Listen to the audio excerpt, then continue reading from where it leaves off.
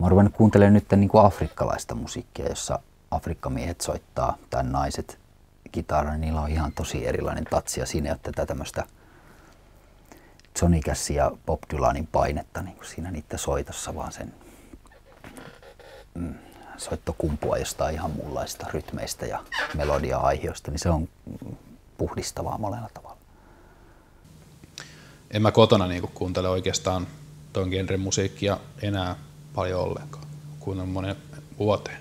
Mä kuuntelen yleensä kotona aivan jotakin paljon iisimpää tai jotain ihan toista genreä. Että, että tota, ihan vaan sen takia, että ei, ei leipään liikaa siihen juttuun. Että edelleen kun menee itse soittaa vaikka DI-keikalle tai live-keikalle Synän kanssa, että siinä on se tietty niin kuin ainutlaatuisesta, että se on siistiä ja mukava, mukava niin kuin pyöritellä niitä, niitä biisejä. Että, että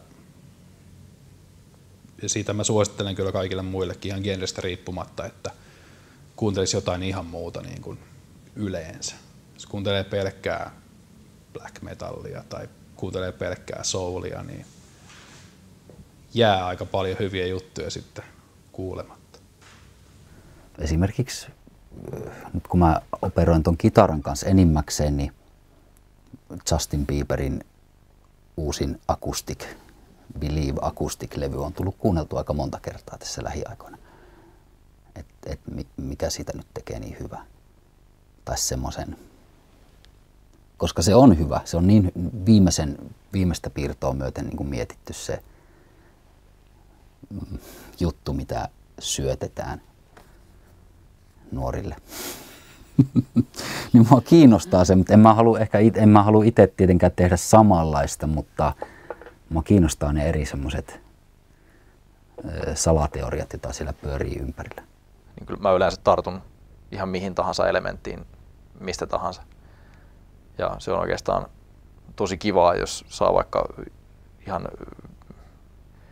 heville vieraasta tyylisuunnasta napattua jonkun kivan jutun ja sitten vähän tuotua sitä tähän oman putikin puolelle. Siitä monesti tulee mielenkiintoista staffia, koska se kuitenkin tullaan sulauttaan tuommoiseen turpaaveto-toimintaan tavalla tai toisella, niin se ehkä sitten näkyy vain jonain pienenä nyanssina siellä lopputuotoksesta. Totta kai sitä ottaa jotain vaikutteita tavalla tai toisella ja ikään kuin sellaista inspiraatioa. Mä yritän välttää enemmän ja enemmän nykyään sellaista, että mä niin tietoisesti rakentasin jotain samanlaista, mitä joku mun suosikkibändi tekee, koska on tajunnut sen, että tavallaan sitä mielenkiintoisemmaksi se musiikki muuttuu, mitä enemmän siihen saa tuotua jotain uusia elementtejä, mitä kukaan välttämättä ei aikaisemmin ole tehnyt. Minkä, ja sellaisen musiikin, niin kuin täysin uuden kuuloisen musiikin tekeminen on todella, todella vaikeaa, koska niin paljon tehdään kaikkea kerran me tehtiin semmoinen biisi, että me niin kuin tsekattiin, että mikä, mikä on, niin kuin, tämä oli ihan niin kuin puoli vitsillä, mutta se pääntyi itse asiassa julkaisuun.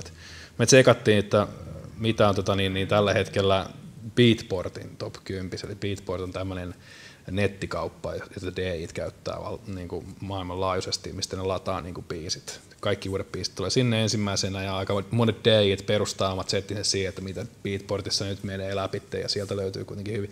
Niin me katsottiin, että mitä on niin kuin Beatportin Transe Top 10, kuunneltiin ne kaikki biisit läpi. Sitten pistettiin ylös siitä, että millä kaavalla ne on tehty, että kuinka pitkät introt niissä on, miten ne etenee, tuleeko joku niin kuin bridge-kohta ja tuleeko niin kuin, minkälaiset nostot on, kuinka pitkiä ne on, montako tahtia ja kaikki näin. Päästiin semmoiseen niin konsensukseen, että okei, hittibiisi menee tällä hetkellä näin. Sitten me tehtiin justiin sillä kaavalla etenevä biisi.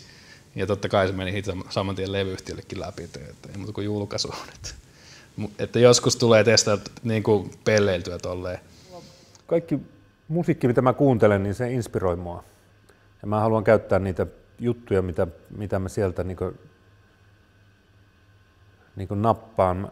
Ei mä suoraan ota mitään, koska mä en osaa edes... Mä oon niin huono, että mä en pysty ottaa edes jonkun kappaleen sointuja ylös levyltä. Ne menee aina väärin, jos mä yritän ottaa. Että jos mä yritän niin kuin, mä voin ihan helposti ruveta vaikka kopsaamaan jonkun toisen tekemään biisiä, ja sitten tulee kuitenkin ihan erilainen, koska mä en saa sitä, niin sitä alkuperäistä juttua otettua sieltä. Kerran mä muistan, kun mä katsoin tämmöisen mikä nämä on, Medusan verkko tai joku tällaisen äh, agenttileffan, niin tuota, siinä oli lopussa sitten joku Mobin biisi tuli. Lopputekstit tuli, niin oli joku Mobin biisi, niin mä ajattelin, että mä haluan tehdä tollasen biisin. Sitten mä menin heti sitten niin kokeilemaan karakebändin kanssa ja laitoin vähän samantyyppistä komppia ja lopputulos oli tietysti jotain ihan muuta, mutta tuota, oli siinä jotain siitä mobista jäljellä, että se oli ihan hauska kokeilla tehdä sen tyyppinen kappale, mitä ei ollut koskaan aikaisemmin tehnyt.